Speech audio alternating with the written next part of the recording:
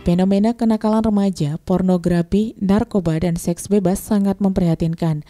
Angka perceraian pun semakin meningkat dan salah satu faktor penyebabnya adalah kurangnya komunikasi dan waktu berbincang di tengah keluarga. Demikian dikatakan pelaksana tugas Bupati Labuhan Batu Andi Suhaimi Dalimunte dalam arahannya pada acara peringatan Hari Keluarga ke-26 dan pencanangan bakti sosial TNI KKBPK Kesehatan Kabupaten Labuhan Batu tahun 2019 yang berlangsung Minggu 30 Juni 2019 di lapangan X Pajak Baru, Jalan Diponegoro, Rantau Prapat, yang diawali dengan kegiatan senam maumere, aerobik, senam poco-poco dan ditandai dengan pemukulan gong.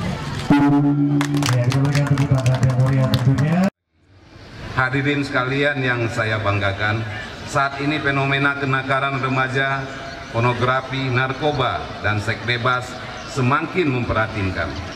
Angka perceraian pun semakin meningkat.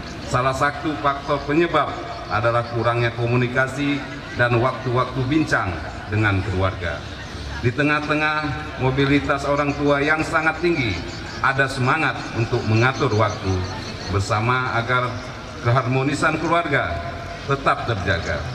Namun karena Kepala Perwakilan BKKBN Provinsi Sumatera Utara Dr. Andes Tema Zoro Jega MKes dalam sambutannya mengatakan bahwa salah satu kegiatan yang digalakkan dalam momentum Harganas ke-26 tahun 2019 adalah gerakan kembali ke meja makan dan gerakan tidak melihat media sosial dan televisi pada pukul 18 sampai dengan 21 waktu Indonesia Barat atau gerakan 1821.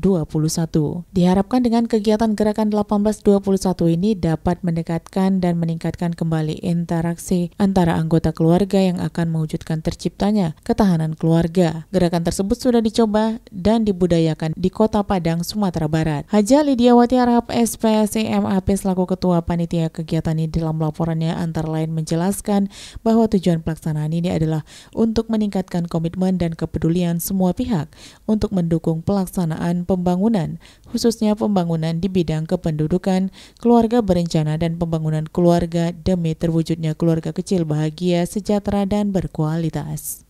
Kegiatan yang berlangsung pada hari tersebut adalah pemasangan alat kontrasepsi implan gratis kepada 100 aksektor, donor darah oleh PMI, gerak dagang kelompok UPPKS dan UP2K, Pemelipan Games, dan pemberian hadiah lomba. Spesial, dapatkan sepeda.